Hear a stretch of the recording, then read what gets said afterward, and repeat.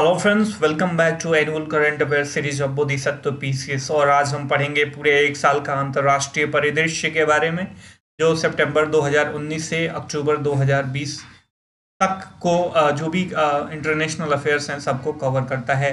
और यह आने वाले BPSC 66 prelims Bihar S I prelims commence BSSC के जो भी एग्ज़ाम्स होने वाले हैं बीपीएसएससी के और अदर गवर्नमेंट एग्ज़ाम्स होने वाले हैं, सबके लिए इंपॉर्टेंट है तो आपसे रिक्वेस्ट है, आप इसे शुरू से लेकर लास्ट तक ज़रूर देखना। इसके साथ साथ मैं आपको बताना चाहूँगा कि बहुत सारे लोग ये कह रहे हैं कि, सर, आपके द्वारा दिया गया टेलीग्राम लिंक नहीं काम कर रहा है तो आप यदि लिंक ना काम करें तो सिंपली टेलीग्राम पे जाके Bodhisattva P C S academy search मारें। वहाँ पे आपको डायरेक्ट चैनल उपलब्ध हो जाएगा और वहाँ पे आप ज्वाइन कर सकते हो किसी भी पीडीएफ नोट्स के लिए। इसके साथ साथ मैं आपको बताना चाहूँगा कि टेलीग्राम पे सब्जेक्ट वाइज सिलेबस से हमने एक क्विजेज स्टार्ट करी है प्रत्येक सेक्शन से। तो टेन क्वेश्चंस का ये क्विज होता है तो आप उसे सॉल्व करके अपने प्रिपरेशन का जायजा ले सकते हैं। चलिए शुरू करते हैं। शुरू करने से पहले आपसे रिक्वेस्ट है चैनल पे नए हैं तो चैनल को सब्सक्राइब करके बेल का आइकन दबा दीजिए, ताकि कोई भी लेटेस्ट नोटिफिकेशन आप तक आसानी से पहुँच सके। पहला टॉपिक है भारत और चीन के बारे में। भारत और चीन हाल ही में पाँच सूत्रीय कार्य योजना पे उन्होंने हस्ताक्षर किया है। तो इसके बारे में इसमें जानते हैं। देखिए, आपको पता होगा कि बीते दिनों पूर्वी लद्दाख के ये जो गलवान घाटी है, इसमें चीनी सैनिकों के साथ रात में एक झड़प हुई थी, भारतीय सैनिकों के साथ। इसमें एक कमांडिंग ऑफिसर सीओ रैंक का समेत भारतीय सेना के लगभग करीब 20 जवान जो है मारे गए थे। और ये ऐसा माना जा रहा है कि पिछले पाँच दशक में सबसे बड़ा टकराव था।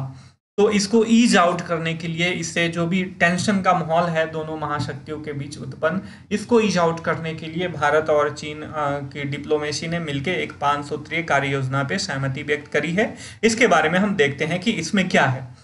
पाँच सूत्रीय कार्य योजना में है कि इसमें मतभेदों को विवाद में न बनने देना, इनका वो है, लक्ष्य है कि कोई भी मतभेद हो, उसे हम सॉर्ट आउट कर लें, उसको विवाद का रूप ना दें।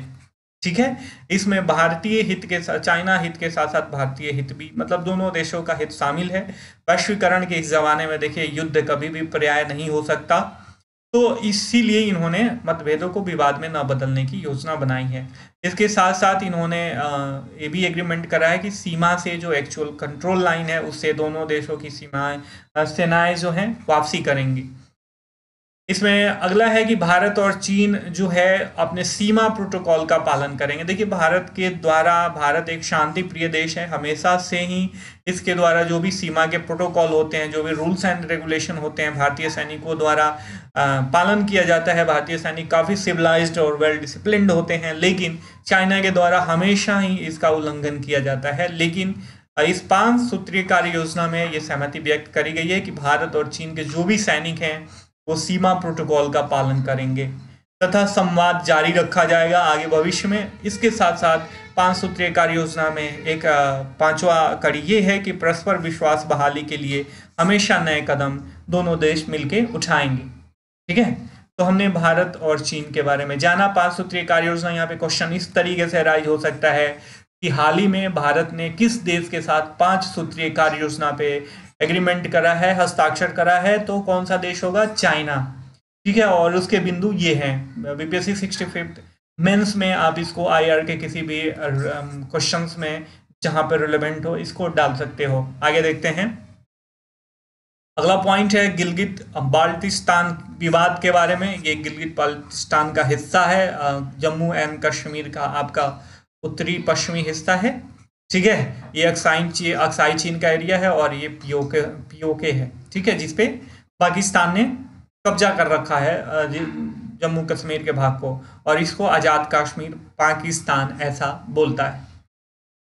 देखिए गिलगित, बाल्टिस्तान विवाद में क्यों है कि पाकिस्तान इस क्षेत्र को एक पूर्ण प्रांत का दर्जा देने पर विचार कर रहा है, जिसको लेके, जिसको विरोध स्वरूप भारतीय डिप्लोमेसी ने पाकिस्तान उच्चायुक्त को यहाँ पे भी और वहाँ पे भी, पाकिस्तान में भी ज्ञा पाकिस्तान सरकार के विरुद्ध जो है ज्ञापन सौंप दिया है।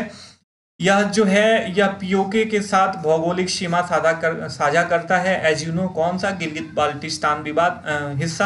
आप देख रहे हो, ये पीओके है और ये गिलगित बाल्टिस्तान है। ठीक है? देखिए, अगस्त 2009 में हुआ क्या था कि पाकिस्तान द्वारा इस क्षेत्र के लिए स्वशासन आदेश लागू किया गया था। ठीक है? तथा इसी के बाद ये वर्तमान नाम से जाने जाना जाना लगा। कौन सा? गिलगित बाल्टिस्तान वाला क्षेत्र। ठीक है तो आप एक्चुअल इसमें मैपिंग का प्रश्न यहाँ से पूछ सकता है कि पीओके वाला एरिया गिलगित बाल्टिस्तान और अक्साई चीन जैसे गिलगित बाल्टिस्तान जो है जम्मू कश्मीर के किस हिस्से में है, ऐसा क्वेश्चन अराइज हो सकता है। तो आप इसे ध्यान में रखना, ठीक है? अगला पॉइंट है भारत और जापान के मध्य सहयोग के बारे में। हाल ही में भारत के प्रधानमंत्री की अध्यक्षता में केंद्रीय मंत्रिमंडल ने भारत और जापान के मध्य साइबर सुरक्षा ठीक है ध्यान में रखिएगा। साइबर सुरक्षा के क्षेत्र में एक सहयोग पर समझौते पर अपनी मंजूरी दे दी है। ठीक है? इस पे साइबर सुरक्षा है। इसके साथ साथ भारत और जापान के मध्य 5G तकनीक इंटरनेट ऑफ़ थिंग्स और कृत्रिम बुद्धिमता पे भी एग्रीमेंट हुआ है। आ, इंटरनेट ऑफ़ थिंग्स आप सबको मालूम होगा। आप मुझे बताएँ कि इंटरनेट ऑफ़ थिंग्स होता क्या है? क्वेश्चन यहाँ से भी अराइज हो सकता है यदि साइंस एंड टेक का क्वेश्चन पूछे तो। अगला टॉपिक भारत और पाकिस्तान के, भारत और जापान के बारे में ही है, दोनों ने लॉजिस्टिक समझौता किया है। आइए देखते हैं इसमें क्या होता है। दोनों पक्षों के मध्य, सशस्त्र बलों के मध्य आपूर्ति और सेवाओं के पारस्परिक प्रावधान mutual logistic support agreement MLSA के अनुबंध पर दोनों देशों ने हस्ताक्षर किया है। ठीक है? अगला टॉपिक है विश्व खाद्य कार्यक्रम के बारे में। देखिए, ये क्यों चर्चा में है? नार्वे की नोबल कमेटी, आपको पता होगा ने यूएन के डब्ल्यू अर्थात वर्ल्ड डब्ल्यू एफ़ पी माफ़ कीजिएगा वर्ल्ड फ़ूड प्रोग्राम को नोबेल शांति पुरस्कार से सम्मानित किया है। क्यों सम्मानित किया है? क्योंकि भुखमरी का सामना करने, संघर्ष प्रभावित क्षेत्रों में शांति स्थापित करने तथा युद्धों और संघर्षों में भूखमरी को एक हथियार के रूप में स्थापित होने से रोकने के लिए। ठीक है 1901 से लेकर अब तक जो है वर्ल्ड फ़ूड प्रोग्राम जो ऐसा संगठन है, जिस अट्ठाईसवां ऐसा संगठन है, जिसे नोबेल शांति दिया गया है। अन्य प्रमुख संगठन है UN S C R UNICEF UN शांति रक्षा कमेटी, अंतर्राष्ट्रीय परमाणु ऊर्जा एजेंसी आदि। ध्यान में रखिएगा, ठीक है? यहाँ से क्वेश्चन अराइज हो सकता है कि दो हज़ार बीस का नोबेल शांति पुरस्कार किसे दिया गया? डब्ल्यू एफ़ पी कौन सा है? मतलब कौन सा ऐसा संगठन है जिसे नोबेल शांति पुरस्कार दिया गया है? या इसमें से कौन कौन से ऐसे संगठन हैं जिस, जो नोबेल शांति पुरस्कार प्राप्त कर चुके हैं? ठीक है, इसको ध्यान में रखिएगा। है भारत म्यांमार के द्विपक्षीय सहयोग के बारे में टॉपिक देखिए, ये Kaladan product Kaladan multi modal परागमन परिवहन योजना है, जो कलकत्ता, इंडिया के कलकत्ता, सितवे प्लातवा और एजवाल सबको ये जोड़ता है। ठीक है, इसको ध्यान में रखिएगा। ठीक है क्या? कालादान मल्टी मॉडल परागम परिवहन योजना।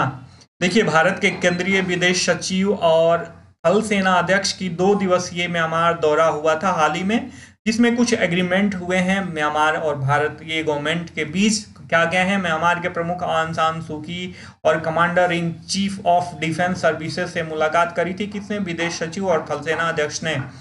राजधानी नेपीडा में एक संपर्क कार्यालय का उद्घाटन किया जाएगा। तथा साथ साथ भारत ने म्यांमार को कोविड 19 में सहयोग करने का वादा दिया है तथा दोनों पक्षों ने कालादान मल्टी मॉडल पर आगमन पर, परिवहन योजना के प्रगति पर चर्चा भी करी है। अन्य तथ्य इसके अन्य महत्वपूर्ण तथ्य हैं। म्यांमार के राष्ट्रपति देखिए यू विन मिंत ने अपनी पत्नी के साथ 26 फरवरी 2020 को भारत का दौरा भी किया था। ठीक है? ये इस दौरे के दौरान बोध गया और आगरा की भी यात्रा की इन्होंने इन्होंने तमू मोरेह और रिहक वादर, झोखावतर में दो बॉर्डर क्रॉसिंग पॉइंट्स को अंतर्राष्ट्रीय सीमा द्वारा द्वार के रूप में खोले जाने का दोनों देशों ने स्वागत किया। तथा साथ साथ इसके भारत ने म्यांमार को कैंसर के उपचार के लिए भावा ट्रान टू नामक रेडिएशन उपकरण भी उपलब्ध करवाया। तो ये म्यांमार से रिलेटेड कुछ इंपॉर्टेंट पॉइंट्स थे, आप इसे याद रखना क्वेश्चन पूछे जाने की संभावना है। अगला क्वेश्चन बहुत ही महत्वपूर्ण है, बेका एग्रीमेंट एज यू नो भू स्थानिक सहयोग के लिए बुनियादी विनियमन, विनिमय तथा सहयोग समझौता। इंग्लिश में इसे बोलते हैं basic exchange and cooperation agreement for geo spatial cooperation BECA. ठीक है? भारत और अमेरिका के मध्य यह तीसरी टू प्लस टू वार्ता थी। ठीक है, और यह कहाँ हुई? न्यू दिल्ली में इसका स्थान था। ये न्यू दिल्ली में तीसरी टू प्लस टू एग्रीमेंट हुआ भारत और अमेरिका के बीच। टू प्लस टू एग्रीमेंट क्या होता है? आप मुझे कमेंट में कमेंट बॉक्स में बताएँ। इस समझौते के माध्यम से अमेरिका जो है भारत के साथ भू स्थानिक मानचित्र, सैन्य उपग्रह द्वारा एकत्रित की गई सूचनाओं और वास्तविक समय पर आधारित तकनीकी सूचनाओं का आदान प्रदान करेगा। ठीक है? अमेरिका के साथ अन्य समझौते हैं। सोमिया, जी सोमिया, लेओमा कॉम काशा सब पे मैंने वीडियो बनाया था। पिछले साल बहुत ही कॉम कासा एग्रीमेंट बहुत ही चर्चा में रहा है तो आप इसे देख सकते हैं प्ले लिस्ट में जाके। तथा अन्य टू प्लस टू वार्ता जो हुए हैं अमेरिका के साथ, अमेरिका और इंडिया के बीच, पहला 2018 में हुआ था, दूसरा 2019 में हुआ था, और ये तीसरा टू प्लस टू वार्ता है, ठीक है? जिसमें बेका एग्रीमेंट हुआ। अगला टॉपिक है आईएलओ के बारे में। देखिए, भारत अंतर्राष्ट्रीय श्रम संगठन बोले तो आईएलओ के शासी निकाय का अध्यक्ष बना है। ऐसा 35 वर्षों में पहली बार हुआ है। 35 वर्षों के बाद ऐसा हुआ है, ठीक है? श्रम और रोज़गार सचिव अपूर्व चंद्रा को अक्टूबर 2020 से जून 2021 तक की अवधि के लिए आईएलओ के शासी निकाय के अध्यक्ष के रूप में चुना गया है। किसे? अपूर्व चंद्रा को। शासी निकाय देखिए, शासी निकाय जो है, आईएलओ का एक शीर्ष कार्यकारी निकाय है, जो नीतियों, कार्यक्रमों, एजेंडो और बजट का निर्धारण करता है। ठीक है? आपने समझ लिया? आप बताएँ कि आईएलओ का मुख्यालय कहाँ है? कमेंट बॉक्स में आप कमेंट करके मुझे बता सकते हैं। अगला क्वेश्चन है जी ट्वेंटी भ्रष्टाचार निरोधी कार्य समूह की बैठक हाल ही में हुई है सऊदी अरेबिया में। इसका गठन 2010 में टोरेंटो शिखर सम्मेलन के दौरान जी ट्वेंटी के नेताओं के द्वारा किया गया था। सऊदी अरब की अध्यक्षता में पहली बार इसकी मंत्री स्तरीय बैठक का आयोजन हुआ है। भारत के केंद्रीय कार्मिक राज्य मंत्री ने इस बैठक में हिस्सा लिया था। तो ये तो पॉइंट हो गया, आपको पता चल गया ना कि जी ट्वेंटी भ्रष्टाचार निरोधी कार्य समूह का बैठक कहाँ हुआ था? हाल ही में 2020 में। तो कहाँ हुआ था? सऊदी अरब में। ध्यान में रखिएगा। अगला टॉपिक है इजराइल सूडान के मध्य शांति समझौते के बारे में। देखिए, अमेरिका की मध्यस्थता से यह संपन्न हुआ और इजराइल से समझौता करने वाला सूडान जो है, तीसरा अरब देश बन गया है। तो आप इसे ध्यान में रखना। पाकिस्तान को एफएटीएफ अर्थात फाइनेंशियल एक्शन टास्क फोर्स के ग्रे लिस्ट में बरकरार रखा गया है। फाइनेंशियल एक्शन टास्क फोर्स के फोर्स के अनुसार जो है, पाकिस्तान आतंकवाद के खिलाफ 27 सूत्रीय एजेंडे को पूरा करने में विफल रहा है। ठीक है, ये सत्ताईस सूत्रीय एजेंडा होता है जिसको ये पूरा करने में पाकिस्तान जो है विफल रहा है, जो कि मनी लॉन्ड्रिंग और आतंकी वित्त पोषण पर अंकुश लगाने से संबंधित था। इसीलिए इसको एफ़ के ग्रे लिस्ट में बरकरार रखा गया है। तो इससे क्या होगा? इससे कोई भी देश इसको पैसा देने से बचेगा और कोई भी जो अंतर्राष्ट्रीय संगठन है, जो सहायता करते हैं आर्थिक रूप से, वो भी बचेंगे। देखिए, ये इसराइल बहुत ही इस साल चर्चा में रहा है। इसराइल का चाहे चुनाव हो या इसराइल से रिलेटेड अन्य मुद्दे हों या अरब देशों के साथ समझौता हो तो इसराइल का थोड़ा सा पोजीशन जान लेते हैं। मेडिटेरियन सी अर्थात भूमध्य सागर से टच करता है। इसके पड़ोसी देश हैं इजिप्ट, जॉर्डन, सीरिया और लेबनान। ध्यान में रखिएगा, ठीक है? ये गाजा पट्टी का एरिया है, फिलिस्तीन से हमेशा विवाद चलता है इसका। आगे देख लेते हैं, श्रीलंका के संविधान का बीसवा संशोधन पारित हुआ है। तो क्वेश्चन यहाँ से सीधे सीधे फैक्चुअल एराइज हो सकता है, ध्यान में रखना। इस संशोधन के द्वारा जो है, कार्यकारी राष्ट्रपति के शक्तियों में विस्तार किया गया है तथा अधिक प्रतिरक्षा प्रदान की गई है। ठीक है? अगला टॉपिक है किर्गिस्तान के बारे में। किर्गिस्तान में राजनीतिक गतिविरोध चल रहे हैं आजकल। हाल ही में जो वहाँ पे संपन्न संसदीय चुनाव है, उसके बाद सड़कों पर सरकार विरोधी प्रदर्शन शुरू हो गए हैं। इन प्रदर्शनों के बीच किर्गिस्तान के राष्ट्रपति कौन है? सुरोनबे जीनब जीनब कोव ठीक है? ध्यान में रखिएगा। ने राजधानी बिश्केक में आपातकाल की घोषणा कर दी है। तो क्वेश्चन यहाँ से इस प्रकार से राइज हो सकता है कि हाल ही में किस देश ने अपने वहाँ उत्पन्न सरकार विरोधी प्रदर्शन को देखते हुए अपने राजधानी में आपातकाल की घोषणा करी है? तो वो कौन सा देश है? किर्गिस्तान। आगे बढ़ते हैं। संघाई सहयोग संगठन एस की मंत्री स्तरीय बैठक हुई है, कहाँ पे? रूस की राजधानी मॉस्को में संपन्न हुई है। इसके कितने सदस्य हैं? आठ सदस्य हैं। और रैड्स जो इस, इसका रीजनल एंटी टेररिस्ट सिस्टम है, इसी क्षेत्रीय मतलब इससे संबंधित है संघाई सहयोग संगठन थे। इसकी क्षेत्रीय आतंक रोधी संरचना है, किसकी? एससीओ की। पिछले साल ही भारत और पाकिस्तान साथ में इसके पूर्ण सदस्य बने थे, संघाई सहयोग संगठन के। आप इसे ध्यान में रखना। भारतीय महिलाओं की स्थिति पर आयोग का सदस्य बना। भारत जो है महिलाओं की स्थिति पर आयोग का सदस्य बना है। यह प्रमुख वैश्विक निकाय है जो लैंग लैंगिक समानता और महिला सशक्तिकरण पर ध्यान केंद्रित करता है। भारत और अफ, अफ़गानिस्तान जो है 2021 से 2025 तक चार वर्षों के लिए इस निकाय का सदस्य रहेंगे। भारत चाइना को हरा के इस पद को पदवी को पाया है। तो आप इसे भी ध्यान में रखना। अब्राहम एकॉर्ड क्या है? हाल ही में देखिए, खाड़ी देशों के दो देशों, बहरीन और यूएई ने इसराइल के साथ एक एकॉर्ड पर हस्ताक्षर किया है। उस मतलब इनमें अपना सहमति वाला एग्रीमेंट है। इसी को बोलते हैं अब्राहम एकॉर्ड ठीक है तो आप इसे ध्यान में रहना, रखना। अब्राहम एकॉर्ड किन किन देशों के बीच हुआ है? बहरीन, यूएई और इसराइल के बीच। आर्मीनिया और अजरबैजान विवाद हाल ही में चर्चा का केंद्र रहा है, क्यों रहा है? देखिए, ये आर्मेनिया हो गया और ये अजरबैजान हो गया।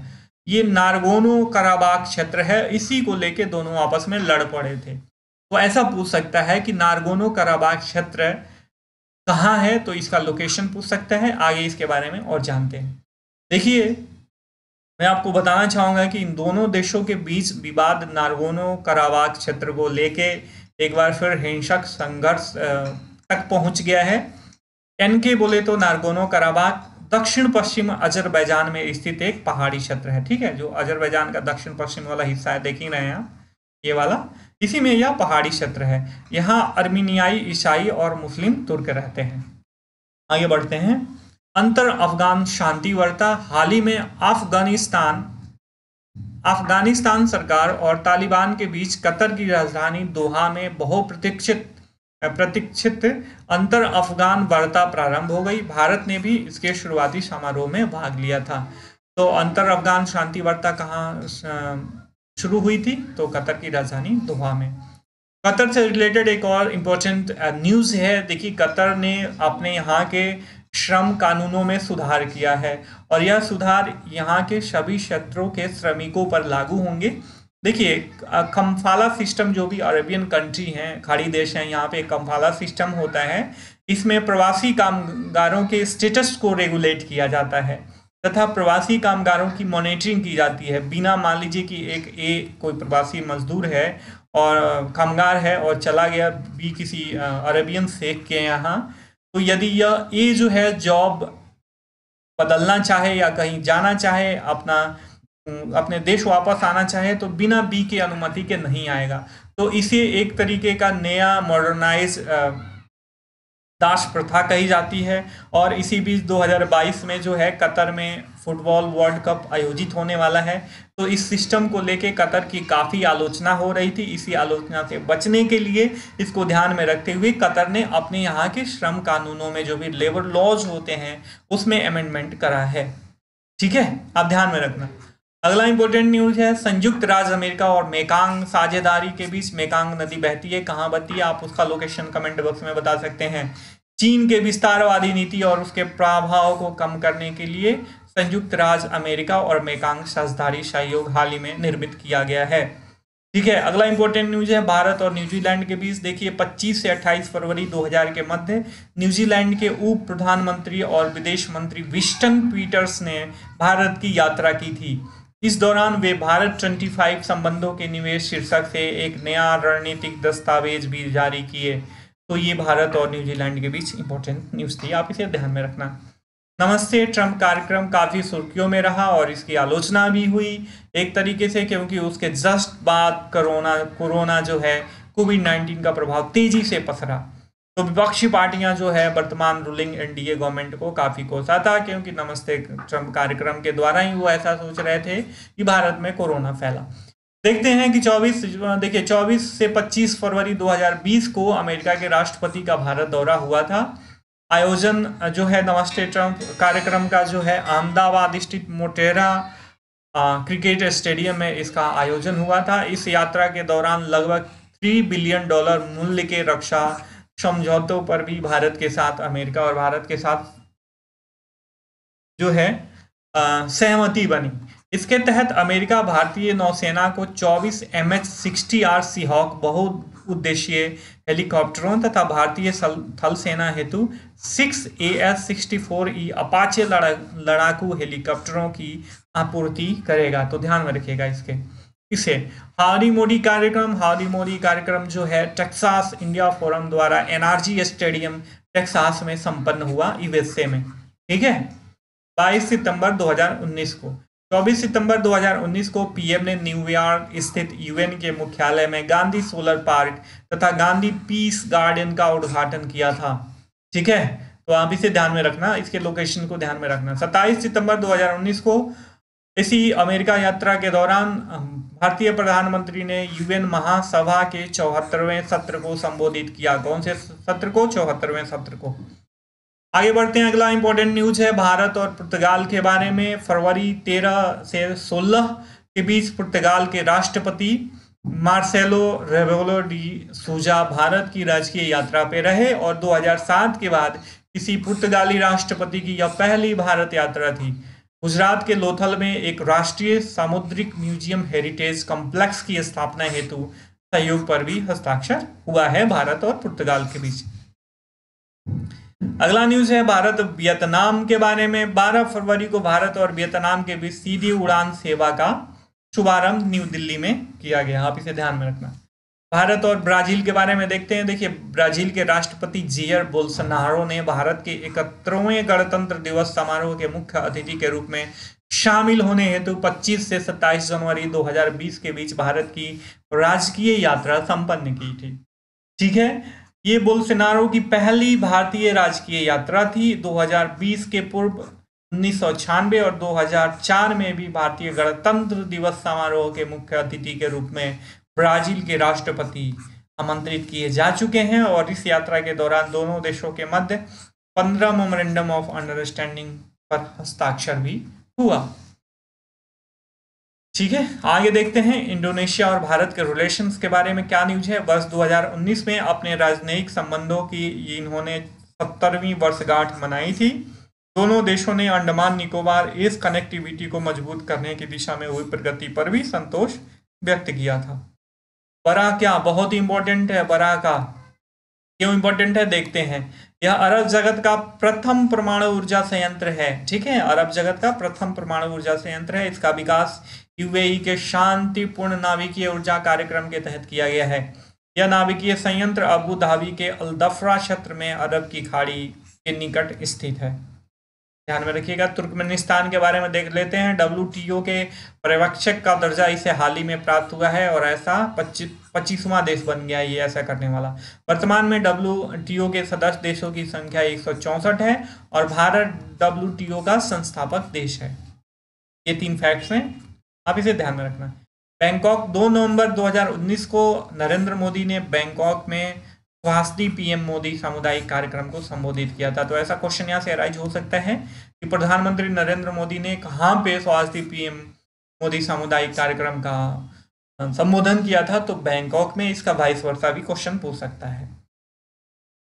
वेंकट रायपुर और मूल्य शाही उड़ीसा के दो राज्य हैं उड़ीसा के सॉरी दो गाँव हैं, जिनको यूनेस्को के अंतर सरकारी महासागरीय विज्ञान आयोग द्वारा सुनामी रेड्डी टैग प्रदान किया गया है।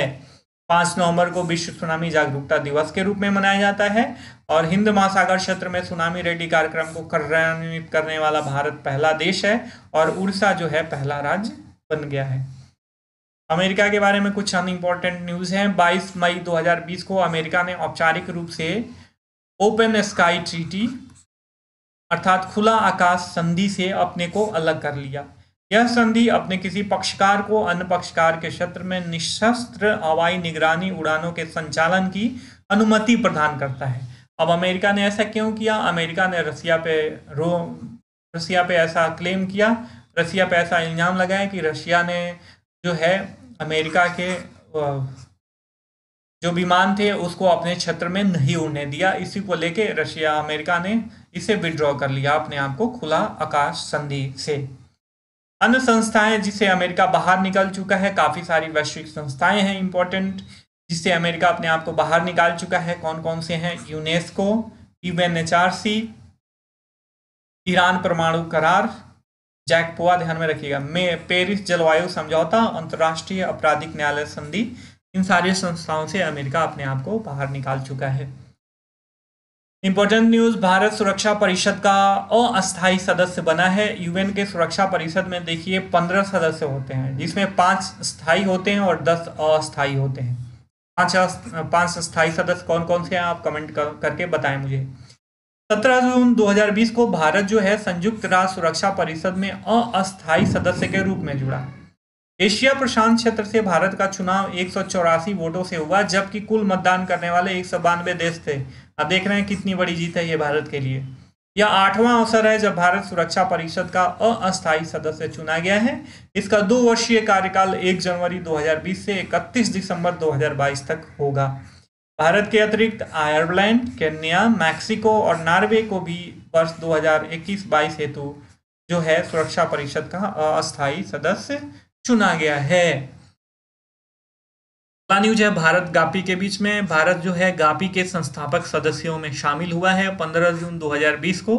कृत्रिम बुद्धिमत्ता पर निर्मित वैश्विक साझेदारी अर्थात global partnership on artificial intelligence को लॉन्च किया। इसके सचिवालय की स्थापना पेरिस स्थित ओ में की गई। भारत का राष्ट्रीय एआई पोर्टल 30 मई 2020 को केंद्रीय इलेक्ट्रॉनिक और सूचना प्रौद्योगिकी मंत्री रविशंकर प्रसाद ने लॉन्च किया। www.ai.gov.in गापी, आपको आ गया? गापी क्या है? GPAI global partnership on artificial intelligence है।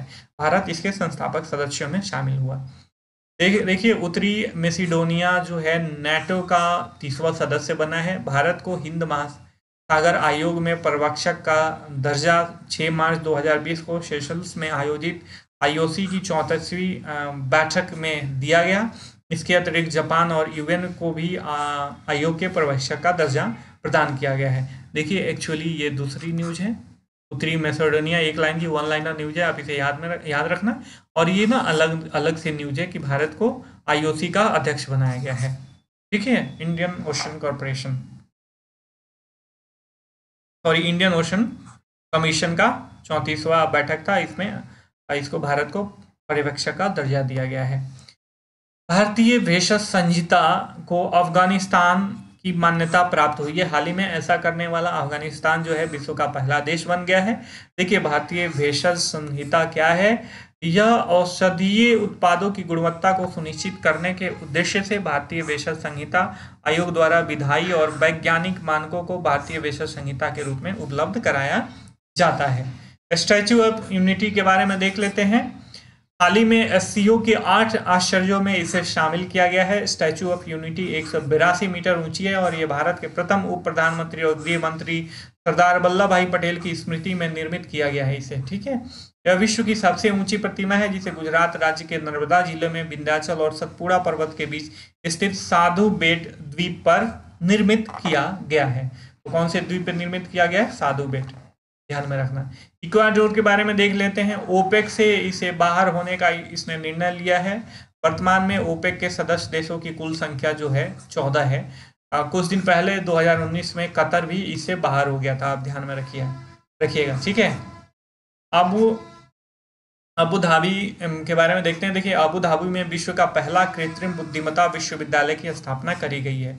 ईवीआई ने 2017 में एआई के लिए, अर्थात आर्टिफिशियल इंटेलिजेंस के लिए, अर्थात कृत्रिम बुद्धिमत्ता के लिए स्वतंत्र मंत्रालय बनाया था और ऐसा करने वाला वह विश्व का पहला देश बन गया था। किसी ने सोचा भी नहीं होगा कि यूएई एआई के क्षेत्र में जो है नेतृत्व निभाएगा विश्व के सामने। हिंदी को अबू धाबी की तीसरी न्यायिक भाषा भी बनाई गई है। तो अबू धाबी के से रिलेटेड कुछ इंपॉर्टेंट फैक्ट्स थे, आप इसे ध्यान में रखना। मुंबई और हैदराबाद को यूनेस्को के रचनात्मक शहरों के नेटवर्क में हाल ही में शामिल किया गया है। मुंबई को फ़िल्म के क्षेत्र में, जबकि हैदराबाद को पाक कला के क्षेत्र में, यूनेस्को के रचनात्मक शहरों के नेटवर्क में शामिल किया गया है। इंपॉर्टेंट है, आप इसे ध्यान में रखना। एक बार फिर से बताना चाहूँगा कि टेलीग्राम ग्रुप को आप ज्वाइन कर सकते हैं। वहाँ पे रेंडमली क्विज चलाए जा रहे हैं। सिलेबस के प्रत्येक सेक्शन से तो आप इस इन क्विजेस को सॉल्व करके अपने तैयारी का जायजा लेते रहिए और प्रिपरेशन करते रहिए। अंतर्राष्ट्रीय सौर गठबंधन, इसकी दूसरी सभा का आयोजन नई दिल्ली में इकतीस अक्टूबर 2019 को आयोजित हुआ। इस सभा में अठहत्तर देशों के प्रतिनिधिमंडल ने भाग लिया और इसी दौरान दो देशों, इरिट्रिया और सेंट किट्स एंड नेविस को आईएसए फ्रेमवर्क पर हस्ताक्षर भी किया गया। मतलब ये दोनों देश आईएसए फ्रेमवर्क पर हस्ताक्षर किए। सी एम एस का आयोजन कहाँ हुआ? तो बारह से पंद्रह से बाईस फरवरी 2020 को गांधीनगर में इसका आयोजन किया गया। इसका केंद्रीय विषय था migratory species connect the planet and together we welcome welcome them home ठीक है? तो ये थे पूरे एक साल के इंटरनेशनल करेंट अफेयर्स से रिलेटेड कुछ इम्पोर्टेंट मोस्ट इम्पोर्टेंट टॉपिक्स जो आपके आने वाले exams BPSC 66 prelims BPSC sixty fifth mains BSSC BPSSC की जो भी एग्ज़ाम्स कंडक्ट होने वाले हैं, सबके लिए इम्पोर्टेंट है। आई होप कि आप मेरे द्वारा बताए गए इन्फॉर्मेशन से आप संतुष्ट होंगे। आपको पसंद आया होगा तो वीडियो को ज़रूर लाइक करें चैनल को सब्सक्राइब करें। सब्सक्राइब करने के बाद जो बेल का आइकन आता है, उसे दबा दीजिए, ताकि कोई भी लेटेस्ट नोटिफिकेशन आप तक आसानी से पहुँच सके। और अपने फ्रेंड्स के साथ भी इसको शेयर करें। ताकि इसका लाभ जो है आपके अन्य मित्रों को मिल सके। हम फिर मिलेंगे किसी नए टॉपिक के साथ। तब तक के लिए शाइनिंग ऑफ़ टेक केयर अपना ध्यान रखिए और पढ़ाई करते रहिए।